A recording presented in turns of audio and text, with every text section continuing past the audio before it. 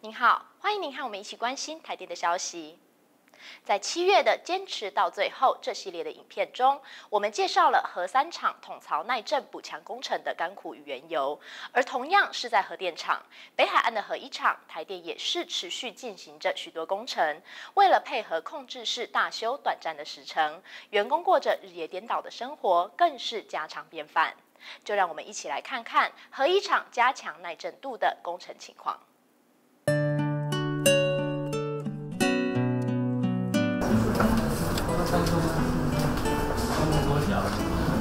爸比啊，挂接电话。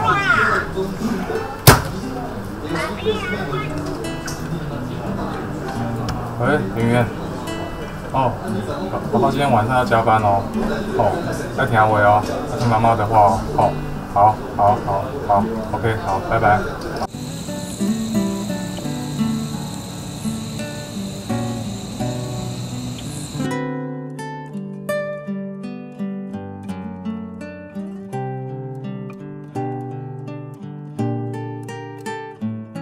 天就是白天还是正常的上班嘛，然后到了别人下班我准备要到控制室内上班的时候，就觉得，尤其是那天六月六号的那天是我我的生日，永远记得我就是跟大家反方向，哦，别人别人下班我要上班，可是就觉得为了工作就没办法，一定要一定要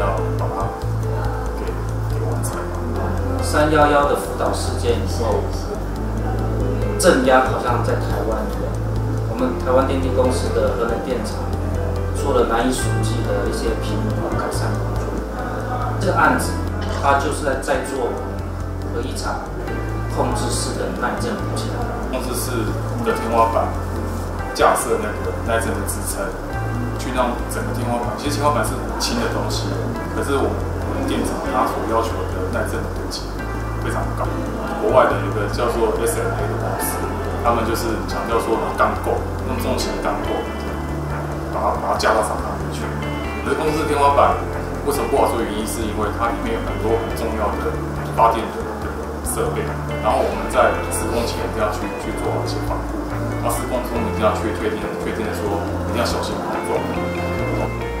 可以运用到的时间其实是非常的有限，在大修中，不只是我们在做，在厂里面的其他的部门也都是在利用大修来去做，所以我们的工作呢，要被迫要在平常的时间可做的时间是让给他，我们能做的时间都是从晚上九点做到白白天早上大概六七点。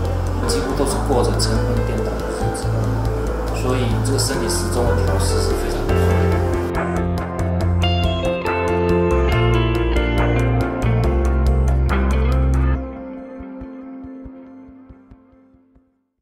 这里是台电影音网，感谢您的收看，我们下次见。